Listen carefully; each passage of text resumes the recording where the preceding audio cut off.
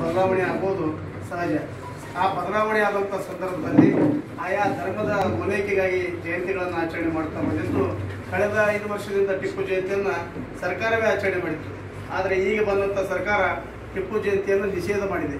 ಆದರೂ ಕೂಡ ಅದು ಹೈಕೋರ್ಟ್ನಲ್ಲಿ ತೀರ್ಪು ಇರುವುದರಿಂದ ಸರ್ಕಾರಕ್ಕೆ, ಸರ್ಕಾರದ ಆದೇಶದ ಮೇರೆಗೆ ಅಧಿಕಾರಿಗಳಲ್ಲಿ ತಿಳಿಸಿದರು, ಟಿಪ್ಪು ಜಯಂತಿಯನ್ನು ತಾವು ಆಚರಣೆ ಮಾಡಿ ಯಾವ ರೀತಿ ಆಚರಣೆ ಮಾಡಬೇಕಂದ್ರೆ ತಮ್ಮ ಖಾಸಗಿ ತಮ್ಮ ಸ್ಥಳಗಳಲ್ಲಿ, ಅಂದರೆ ತಮ್ಮ ಸಮುದಾಯ ಭವನದಲ್ಲಿ ಅದೇ ಯಾವುದೇ ಸರ್ಕಾರದಲ್ಲಿ ಕೂಡ ಮಾಡಿದರೂ, ಅದಕ್ಕೆ ತಾವೇ ಹೊಣೆಗಾರರಾಗಿ ಶಾಂತ ರೀತಿಯಿಂದ ಆಚರಣೆ ಮಾಡಿರ್ತಕ್ಕ ಸರ್ಕಾರದ ಆದೇಶವನ್ನು ತಾವು ಪಾಲನೆ ಮಾಡುತ್ತಾ ಹೇಳಿದರು.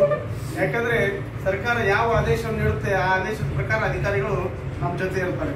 ಯಾಕಂದರೆ ಅವರು ಸಂಘರ್ಷಕ್ಕೆ ಇಳಿದೆ ಮತ್ತು ಧರ್ಮದ ಹೆಸರಿನಲ್ಲಿ ಯಾವ ಅಂದರೆ ಕೋಮ ಸೌಹಾರ್ದತೆಯನ್ನು ಹಾಳು ಮಾಡುವ ಉದ್ದೇಶ ಸರ್ಕಾರಕ್ಕಿರುವುದಲ್ಲ ಸರ್ಕಾರದ ಉದ್ದೇಶ ಶಾಂತಿಯನ್ನು ಕಾಪಾಡಿಕೊಳ್ಳುವುದು ಅದೇ ರೀತಿ ಬಸವನಗಿರಿ ಪಟ್ಟಣದಲ್ಲಿ ಹಲವಾರು ವರ್ಷಗಳಿಂದ ನಾವೆಲ್ಲ ಹಿಂದೂ ಮುಸ್ಲಿಮಾನರು ಅವರ ಹಬ್ಬದಲ್ಲಿ ನಾವು ನಮ್ಮ ಹಬ್ಬದಲ್ಲಿ ಅವರು ಎಲ್ಲರೂ ಸೌಹಾರ್ದತೆಯಿಂದ ಅನೇಕ ಕಾರ್ಯಕ್ರಮಗಳನ್ನು ನಾವು ಮಾಡ್ಕೊತಾ ಬಂದು ಯಶಸ್ವಿಯಾಗಿದ್ದೇವೆ. ಯಾವುದೇ ರೀತಿಯ ಅಯೋಧ್ಯೆ ತೀರ್ಪು ಈ ಹದಿನೇಳರ ಒಳಗಾಗಿ ಬಂದರೂ ಕೂಡ ಅದು ಹಿಂದೂಗಳ ಪರವಾಗಿ ಆಗಿರ್ಬೋದು, ಮುಸಲ್ಮಾನರ ಪರವಾಗಿ ಆಗಿರ್ಬೋದು. ಆ ತೀರ್ಪಿಗೆ ನಾವೆಲ್ಲರೂ ಸುಪ್ರೀಂ ಕೋರ್ಟ್ಗೆ ತೀರ್ಪಿಗೆ ತಲೆಬಾಗಿ ಆ ತೀರ್ಪನ್ನು ಗೌರವಿಸಿ ಎಲ್ಲರೂ ಶಾಂತಿಯನ್ನು ಕಾಪಾಡೋಣ.